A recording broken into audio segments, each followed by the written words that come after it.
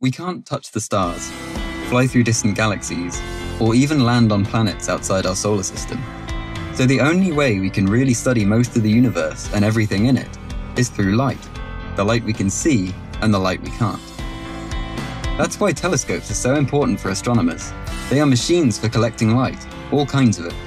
They are just like very powerful artificial eyes to look at the sky. The bigger the telescope, the better it can see. Why? Because bigger eyes, like owl's eyes, have a bigger surface, so more light reaches them, allowing the distinction of fainter differences in color and a sharper vision.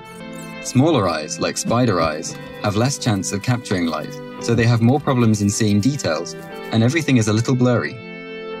With telescopes, it's exactly the same.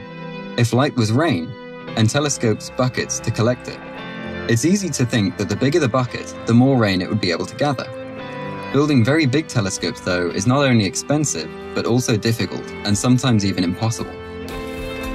So what if, instead of trying to build a gigantic bucket, you joined a lot of smaller ones together? Well, great idea. That way you would be collecting the same amount of rain, getting the same information, but in a much easier way.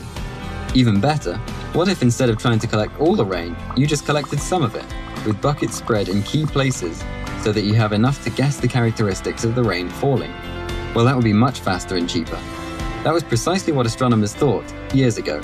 By using several different small telescopes as one, they could see extremely fine details of the universe, just like if they were using a single telescope several kilometers across. They called this technique interferometry. ALMA works exactly this way. It can make 66 antennas work together as one very, very big telescope, making it one of the sharpest eyes to ever scan the sky. With the sharpest eyes of all, ALMA can study very faint light in the universe and capture images astronomers can't even begin to imagine.